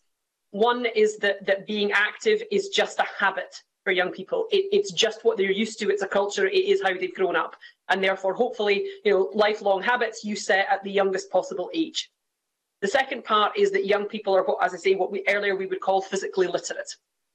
There's a third part. It's definitely not forgetting that sport and physical activity is fun. I'm not precious about what it's called. I see it all as being on a continuum, and at different ages, people go into different things. So for me, sport isn't just competitive. A lot of our members are non-competitive in, in what they do as a sport, but also there are a number of sports that you know have competitive and non-competitive elements in. In fact, they almost all do. I think what is a priority in terms of the diversity of activities that young people are, are provided through through PE and through school sport is recognising that the ideal is that there's a community link opportunity. And again, where I feel opening up the school state is a priority, that we're making sure that they're, they're, they're getting to try a range of activities because you know they'll find different activities at different stages of our lives. I'm sure everybody does exactly as you say, convener. But I think also it's where they get to try a sport. So they go along and they play table tennis, and oh look, there's a table tennis club in the local area. Ideally, it might even be within the same school environment because, again, young people have confidence about going to known environments and therefore the school estate is a huge opportunity if there are clubs based in that locality. But it's making sure that, that we really are, are relentless in making sure that the two hours of two periods of quality PE is achieving the outcomes that we need. The Daily Mile is an amazing, amazing um, policy and it's an amazing outcome, but it doesn't replace two hours or two periods of quality PE. Active schools, doesn't replace two hours of quality PE or two periods of quality PE. So we need to be really clear that physically literate individuals are ones which have the confidence and the competence to try a range of sports and activities throughout their lives. So for me, that's the priority. And different sporting opportunities allow that to happen. Steve, and then Sandesh has a quick question, and then we're going to have to move on to, to a couple of other themes around infrastructure. So, Steve. Yeah, I, I think one thing we, we haven't mentioned is listening to the young people. So what is it that they would like to see up here? Dance is one for, for young girls who got a, a movers and shakers program. They absolutely love it. It's non-competitive, but um, they then lead it themselves, which is fantastic. There's also things like outdoor foraging with our countryside rangers, kind of strange things, but it's it's listening to the young people and I think trying to create that community hub in schools where youth workers, active schools coordinators can work with educators speak to the young people and try and bring out of them what it is they would like to see. Um, I guess we're sitting here a group of grown-ups, if, if I can class myself as one, trying to determine what young people actually want. We, we probably need to ask them. Um, Sandesh, you. you had a question. Thank you, Convener. Uh, just, I want to come in on the activity level and participation level of sport by adults here in Scotland that David uh, spoke about. I want to expand a little bit on what uh, Stephanie Callahan's question was and also on what you said, Convener. Um, you know, I love sport. I play competitive sport all the way through uni, uh, and yet in adulthood, that's gone. Um, weather and access to facilities are key factors, I think, when we're leaving school. But Norway deal with that very well, and they've got worse weather than us. So My question really is how can we improve this? Would anyone like to come in first? I'll just I'll just look at our panelists. Just raise your hand and I'll come to you first. David. Thanks for the question, Sandesh. Yeah, you're right to spotlight uh, Norway there, and uh, we've done quite a bit of research on different parts of, of, the world and how they've done that. A lot of it, you know, we could talk forever this morning. We don't have the time to do that on on this uh, issue. But a lot of it comes back to what we said earlier. If you have a strategy and a proper strategy, we've got frameworks and we've got corporate plans in Scotland, but we don't have a national strategy that brings everybody into the same um, area, onto the same page, understanding how we deliver on a national level and how we deliver on a local level. It's much easier to then develop facilities. We've heard Judy Murray on the, on the, on the radio and television this week complaining about the lack of tennis facilities. Again, a lot's happening in silos there. Um, you asked, you know, you mentioned Stephanie's question. Stephanie asked about children, and, and Stephanie, coming back to that, one, one of the things that research shows is that if children have sport coming through their teen years, so it doesn't matter what they've learned up to the age of 10, 11, if they drop out from 11, 12 on, they don't then have the confidence and skills to come back to it in general. That's what the research tells us later on in life. If it's been part of that maelstrom that they've gone through, that children have gone through as teenagers, where everything's changed for them, if sport has still been part of that, and again, we have got sport in our title. We deliberate with that all the time because we're conscious that people see that as a turn off, Gillian. I understand what you're saying. We don't see it like that. We see sport in its widest sense play, dance, tumble tots, walking groups. We all see that as being part of it.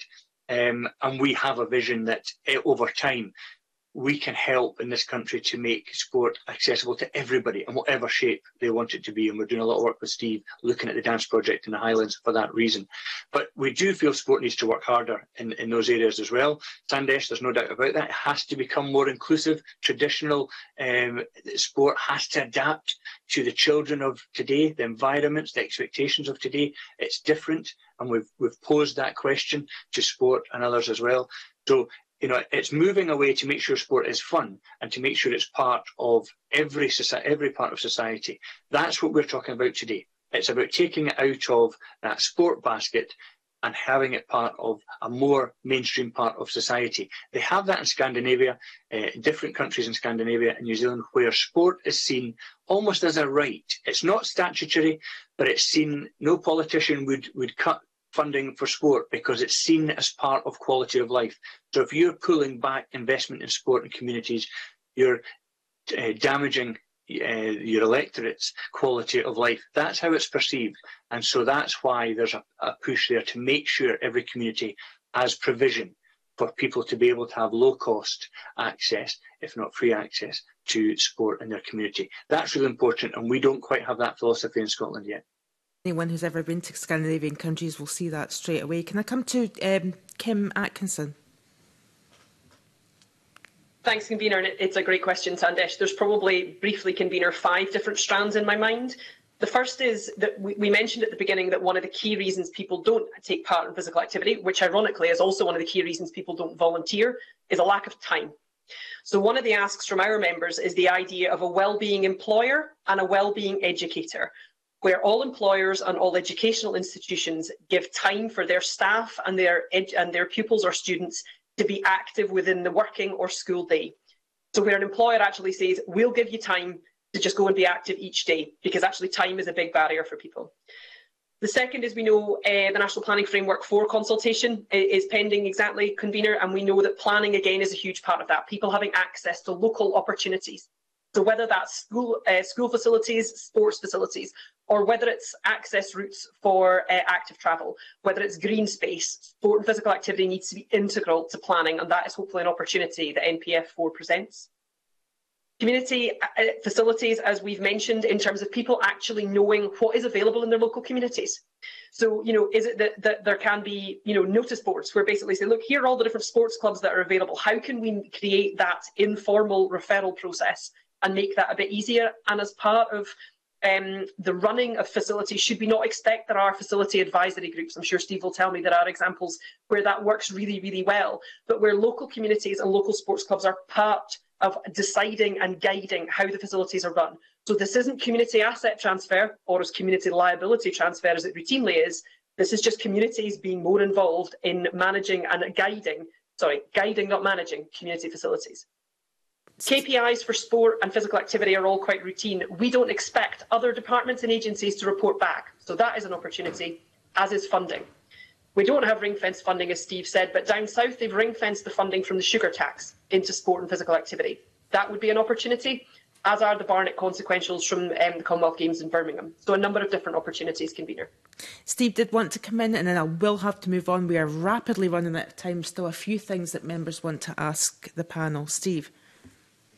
Just a couple of points from me. Thank you, convener. Uh, first would be uh, uh, uh, local authorities clearly under huge pressure to deliver schools, roads, amenities, and I would just encourage us all to think, don't think school if we're looking at a new infrastructure, look at a community hub where we bring in sports facilities, libraries, uh, and make them community hubs that become a real focus for for for communities to use. And the other thing, just one just one um, point for me, I completely agree with everything that, that Kim said there. Um, management committee fatigue has been something we've really suffered from up here as um, management committees have got a little bit older um, and they've had to step down and we've had to step in and take on an enormous amount of facilities. Um, so that I think the thought that we can hand them over to communities is it's an aspiration. I think it it is something we, we should try to do, but we need to question the sustainability of that because often it can lead to fatigue. And my last point is, I think we're talking that that question about sport. I guess it kind of riled me a little bit. I, I think we're all about well-being, and I look at the you know the six outcomes, and I wonder why one of the outcomes just doesn't say well-being, um, because it, it, it goes through as a theme right the, the, way through all six, but we don't say it explicitly, although it's implied. Um, and I'd rather think that what I'm about is physical and mental health and well-being um, rather than sport. I think we're much more than that. Jackie, you had a quick question. Um, just a couple of quick questions, if, if I may. Um, and I think one of the panel, I can't remember who, um, identified poverty and inequality as one of the main barriers to access. I suspect you would all do that. So, so let me put my question to, to Kim. Um, access to facilities for disadvantaged communities has been a perennial problem. It continues to be so. So I have, for example, a local football team, disadvantaged area, um, and it's costing them £100 for one session on a local football pitch owned by the local authority. Um, how do we get beyond that so that we do actually remove access Thanks, Jackie. It's a, a, great question. And as you say, it's a perennial question and one which I feel we never quite get to, to a position in, in, in moving forward. So community facilities are, are at the heart of, of, how sport and physical activity happens and community clubs in the same way. So as I say, 13,000 sports clubs, 900,000 members. The reality, though, is that the largest cost that, that, that clubs face is in facilities. Very, so there are a number of sports clubs operate their own facilities, but the majority use those that are run by a local authority or a leisure trust. The biggest margin, as I say, or the biggest cost for them is access to the facilities.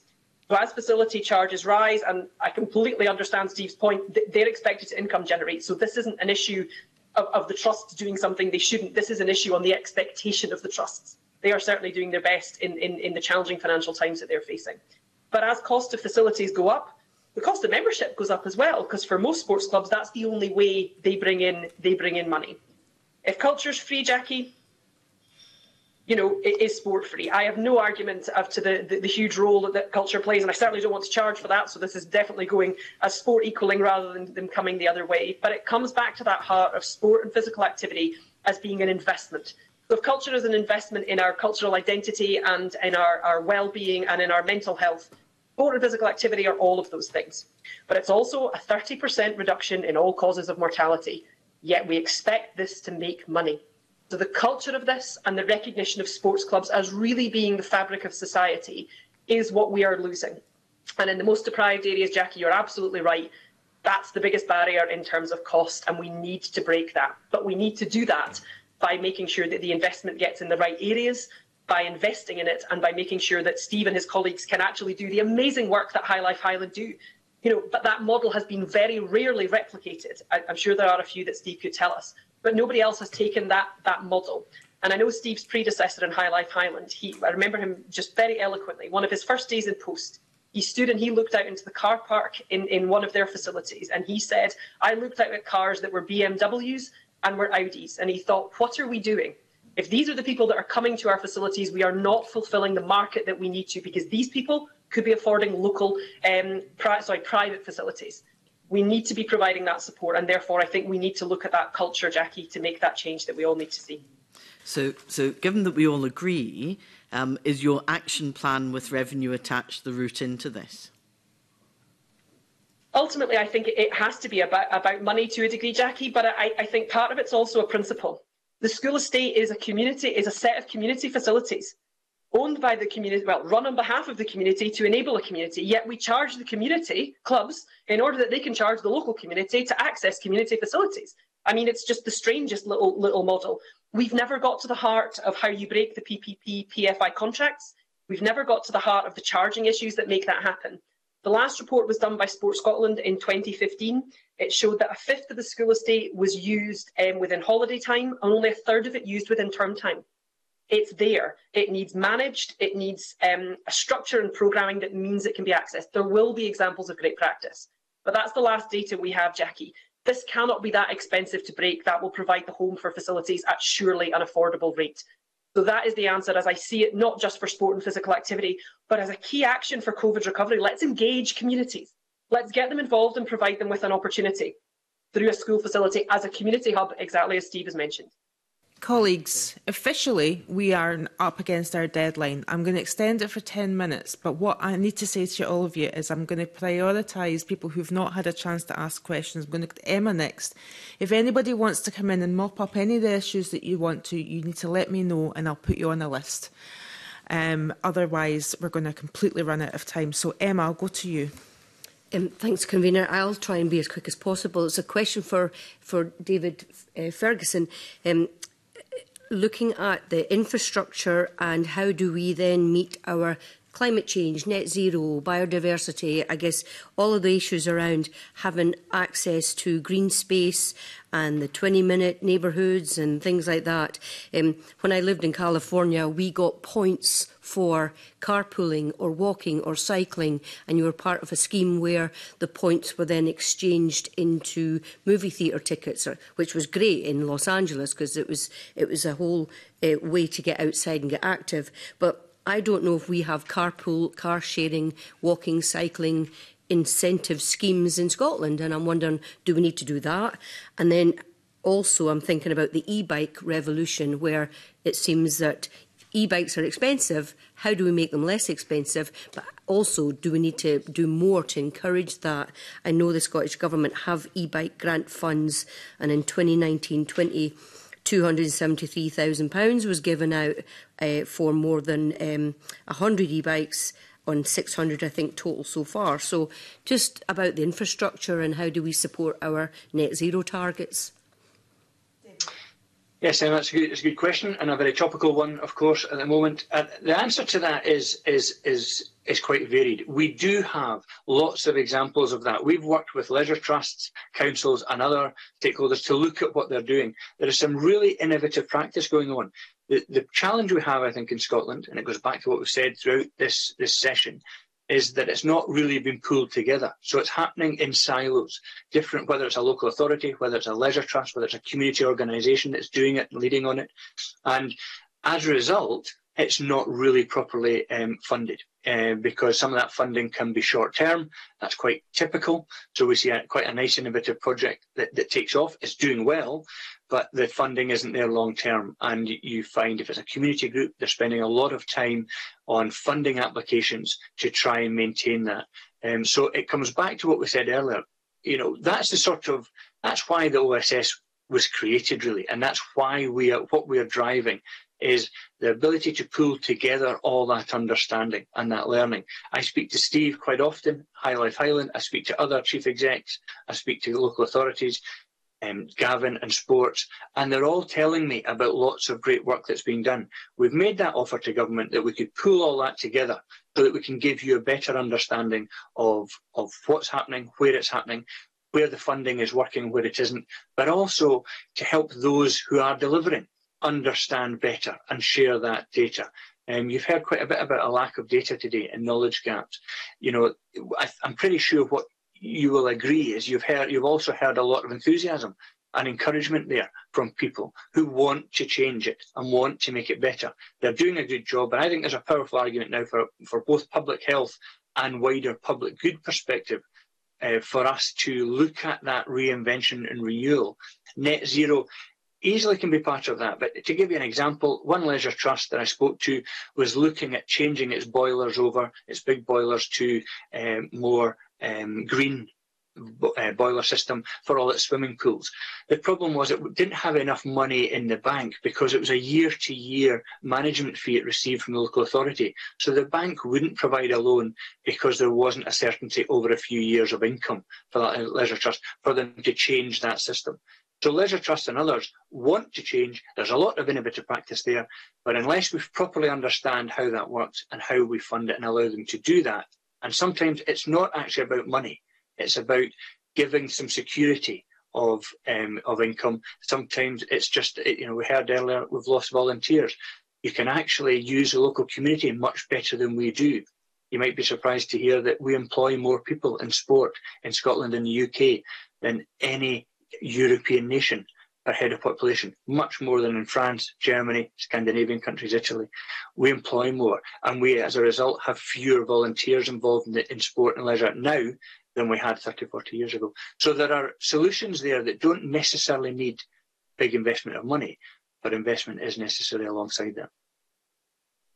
Come back in, or can I go to one of your colleagues? Just the the question about e-bikes and supporting, we've seen massive uptake in e-bikes and cargo bikes even.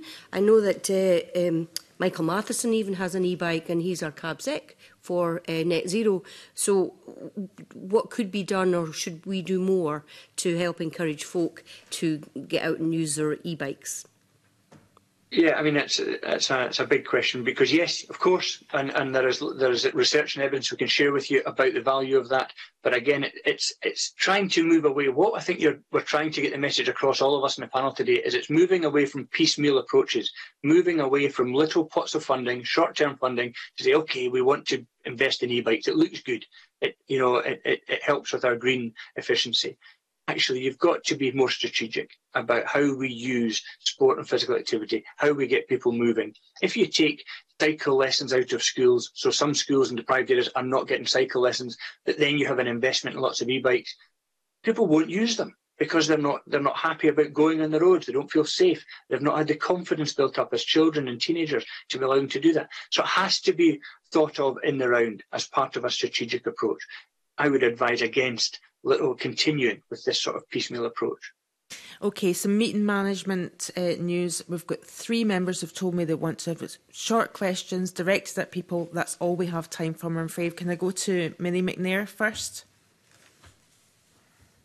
Uh, thanks, Convener. Um, the panel welcome the, the, approach that wants to increase green space and, and improve the access to it. And women's safety when accessing green space is important do the panel have uh, views on how this can be maximised and, and give uh, sort of examples of good practice in this regard? Walsh has indicated that he wants to come in. I don't know whether it was on this particularly, Marie, but can I come to Steve?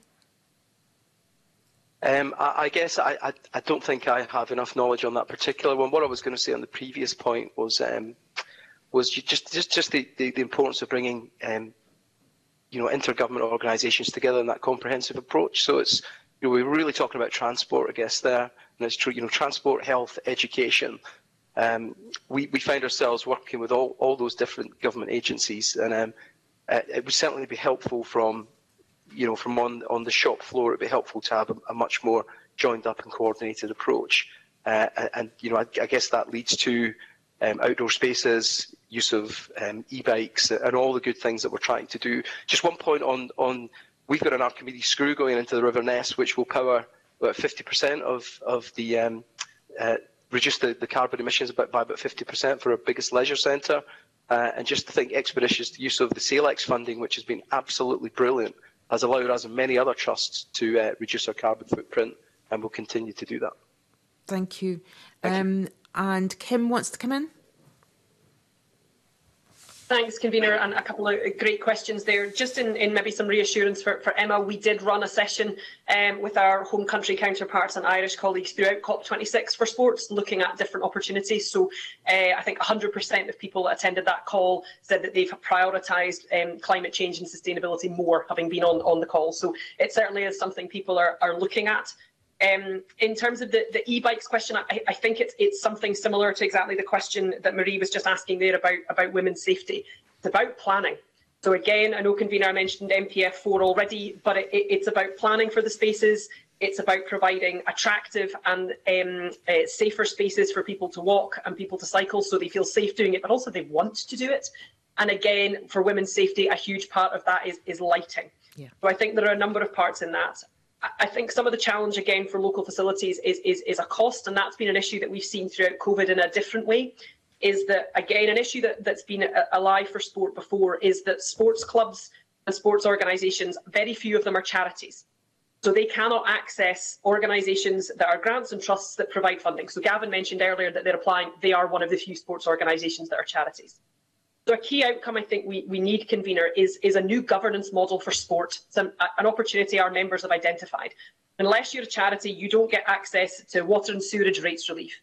You don't get access to rates relief. Sorry, you don't get access to grant aid don't get access to quite a number of other opportunities through grant and trust funding where sport and physical activity is therefore not on a level playing field with charities. We need to change that model because exactly as Steve was saying, sport and organisations want to do more, but they can't access the same grants without that charitable tag, and that's a big problem. Okay, um, we have two members, and again, direct your questions quickly. Sue, and then Stephanie will, will have to close. Sue. Thank you. my question falls on, I think, quite nicely from that convener, so thank you. It's about um, eco-ableism, and I suppose this is probably mostly directed towards uh, Gavin MacLeod. We've heard of a number of environmental uh, policies there in terms of uh, uh, active travel and redesigning streets to make it perhaps more difficult and challenging for those with a disability to access. So I'm just asking for your feedback and thoughts on that, and do you feel included in these discussions?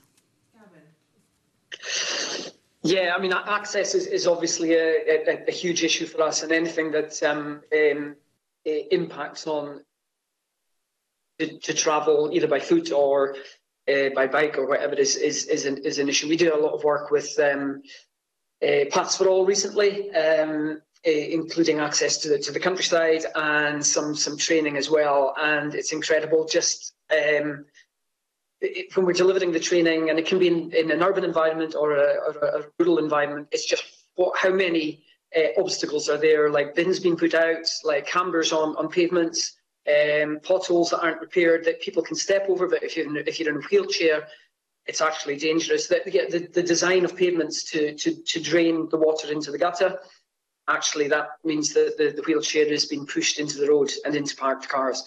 So, you know, the, some of these design things, I think we, it would be good to have a more inclusive approach to those uh, and to have that consultation at the, at the outset uh, when they're being put in place. But at the moment, no, we don't get that consultation, um, and it, it proves proves uh, problematic.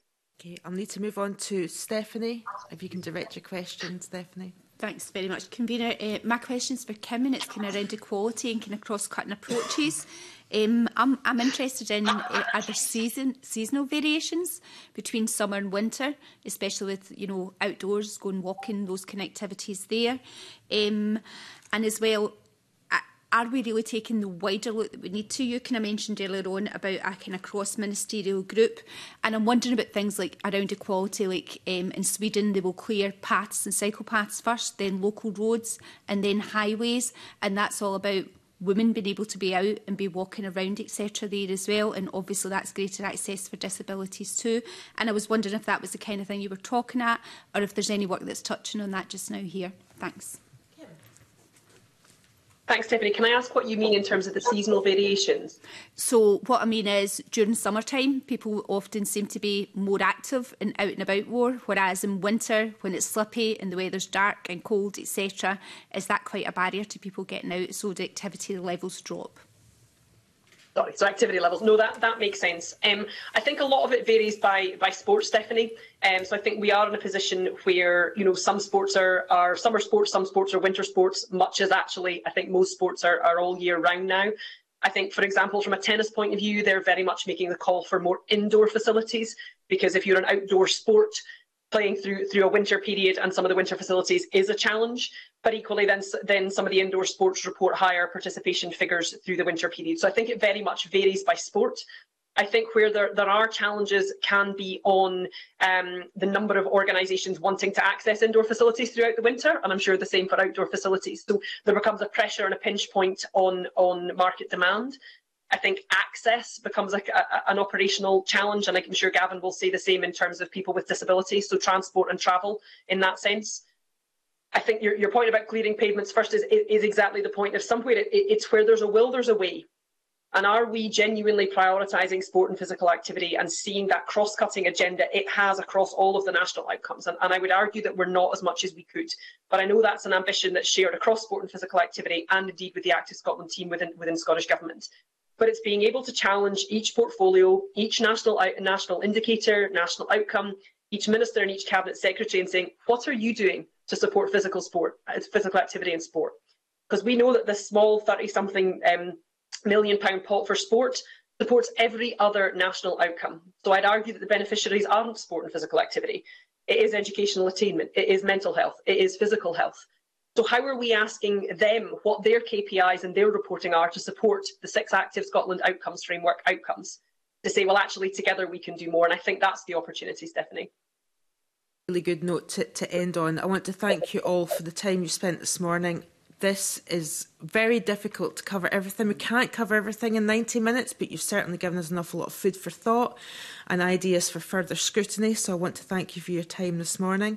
Our next meeting on the 7th of December, the committee will take evidence on perinatal mental health from two panels of stakeholders, but that does conclude the public part of our meeting today. Thank you all.